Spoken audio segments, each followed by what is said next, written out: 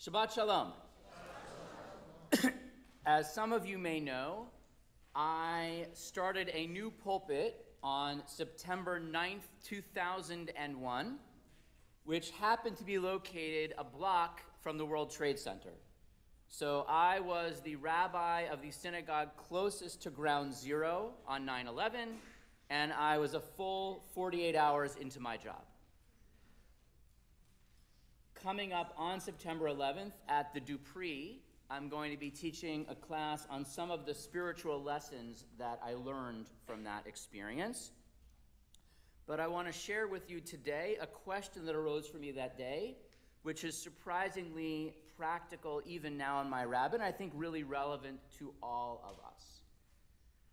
So after 9 11, there were thousands killed. There were also thousands, tens of thousands made homeless. All of the southern tip of Manhattan was evacuated.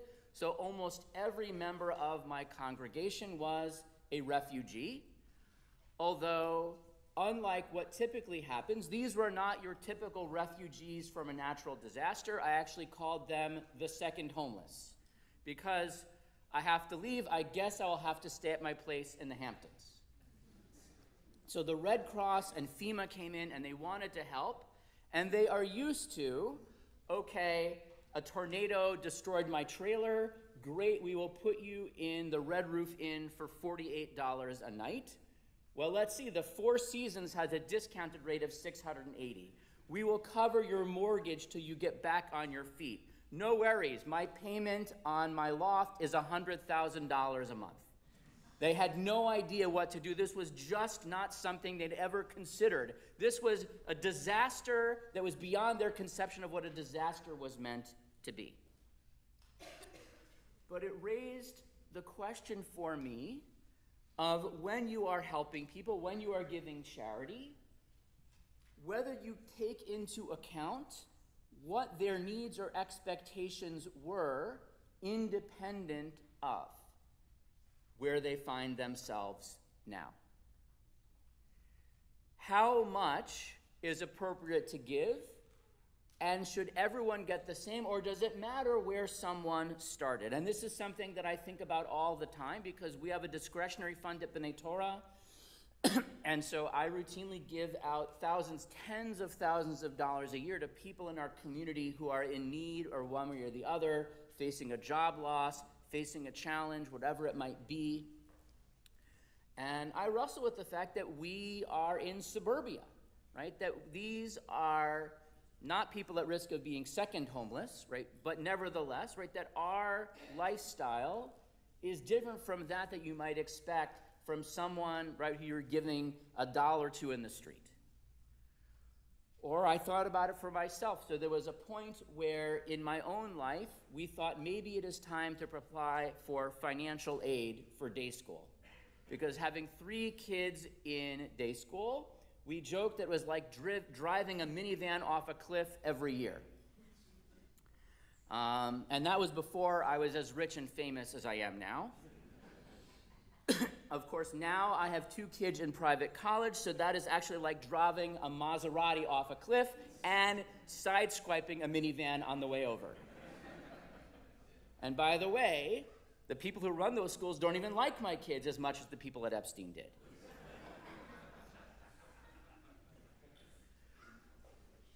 But the question is, right, so who am I, right, living a relatively comfortable suburban lifestyle? I get to go on vacation. I have two reasonably new cars, right, to be asking for financial aid.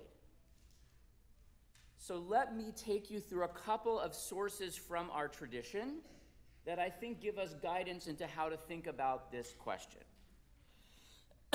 so, our Torah portion this week there's a portion, actually, the second half of the portion, the fifth and sixth aliyot in particular, talk about different ways that we help people in need. There's a mitzvah of maaser, giving a tenth of what one has to the poor. The idea that if someone needs a loan, you give it to them. There are so many different ways in which we are commanded to help those in need. And it says, De machsuro, asher yechsarlo. In Hebrew, the amount that he is missing that is missing to him, that which he needs. And the idea is, and the rabbis debate this, but the idea is that it is not just in some absolute amount, but the amount that is missing to him. And so Hillel, the sage, you've heard of him, they named the place on campus after him. he said, even a horse to ride and a slave to ride before him. And so they say that there was a case where there was a man who had been born into a rich family, so he expected to live a certain way, and he became poor, and he bought for him a horse to ride and a slave to run before him. One time he did not find someone to run before him, and so he himself ran before him for three miles. So, to translate into modern terms, this guy needed a ride. We did not get him Uber X. We got Uber Black for this dude, right? That we went above and beyond because he was not used to riding in the back of a Civic. And so, what, what Hillel would say, it would seem, is that when we support someone who is in need, we keep in mind who they were before they started. So, if someone was used to living certain, certain lifestyle, the goal is to restore them to the lifestyle they had previously. And a similar story, Mar Ukba had a poor man in his neighborhood to whom he regularly sent 400 zuz on the eve of every day of atonement. If you want to know how much 400 zuz is, a ketubah specifies what alimony is for a year, and that is 200 zuzim, right? So this is like two divorces worth of money, right? Or if you prefer it the Seder, tre zuze, two zuzim, is the amount you can use to buy a small goat that then the cat eats, and then the dog bites it, and then the stick, and all, you know where that goes. and so his son goes to deliver the money, and he says, the son comes back and says, You are throwing your money away. This guy does not need your help. And Mar Ukba says, Why? He said, I saw that in this guy's house, they're using basically um, aged wine as perfume, right? So basically, they are literally like, they are living large. And Mar Ukba says, They're so delicate, send them 800 zuzim. They need it. So these are actually two rather remarkable stories of the sages, right? That in fact, you are supposed to give not based on some absolute level, right? You should have a roof over your head, you should have basic meals, right? You can eat ramen noodles like the rest of us. No, like if you're used to eating a good cut of steak, then by gosh, we need to get you a good cut of steak, it would seem. So if you want to ask, according to these sages, how much should you give? They would quote Creedence Clearwater Revival and say, they always answer more. Those are the stories. The law gives us a little bit of a different answer. So, Mishnah Peah, so a legal code, the first one found in the Mishnah, gives us actually amounts. That if someone is has 200 zuzim, they are not allowed to take the things designated for the poor. So if you remember, I said 400 zuzim. So if we have half that, you are not entitled to take forgotten sheaves or the corners of the field or the poor man's tithe. On the other hand, if you are in debt, so if you had 200 zuzim, but they, your debts outweigh that, they are mortgaged to someone, then that's okay. And they don't force someone to sell his house or his tools. So maybe there is a limit, right? That look, if you have this much money, you don't need our help, come back when you're actually poor. But on the other hand, if you are facing a situation where you might have money, but it's tied up in your house, or you might have money, but it is actually, you have tools, but you need them to work, then you actually still do need our help. The source ends by saying that if someone doesn't need and ends up taking, they will end up actually becoming impoverished. So that in fact, it is a recurring cycle. If you take money that you don't need, eventually you will come to really need, that karma will come and get you.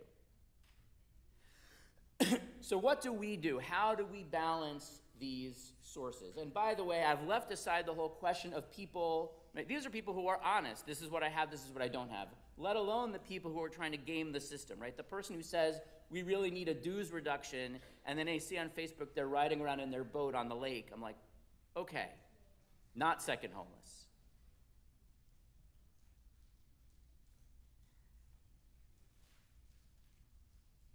How do we know what is the right amount to give? And what do we give? So there's the story of the kid who, as he is going to Ged and prays, God, please heal those who are sick. God, please give food to those who are hungry. God, please give homes to those who are homeless. And please give clothing to all the people on my older brother's computer.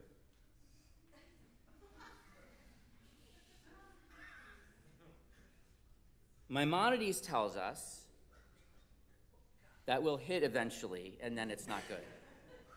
Maimonides tells us that a poor person who is unknown and says, I'm hungry, you don't check after him because if someone's coming, you say, I literally have no food to eat, you don't debate. Like, and similarly, if someone comes to you and says, I have no clothing, that's something that is immediately obvious, right? Um, but even so, they say, see if he's lying, because people might lie about not having clothing, even though they will not lie about whether they're hungry or not. But I think for us, the challenge is we live in a world where we are presented with so many different kinds of needs. And we're sometimes, by the way, we ourselves ask, are we justified in asking? And I think the answer is that the Torah says, Laman achicha imach, that your brother should live amongst you. That in fact, there is a goal in the tradition that people should be able to be supported to get back to the place where they came from. That people should be, people should be supported. That there are always going to be rich and poor, the Torah says. That should people should never feel like they are so low that they have no place, that they can't show their face in the community. That everyone should feel like they can stand tall and proud and be able to be in the school with everyone else. That everyone should feel like that they can't they don't have to move away because they can't afford to live where they used to live. The practicalities of how you do this are complicated but it's important for us to remember that the way that one feels need if one was doing well is different not better or worse but different from the way that one feels need if one was always needy. And our tradition asks us to be sensitive to the fact that where you start has an impact on where you feel you are at that moment, and we have an obligation to help everyone feel a sense of dignity. Shabbat Shalom.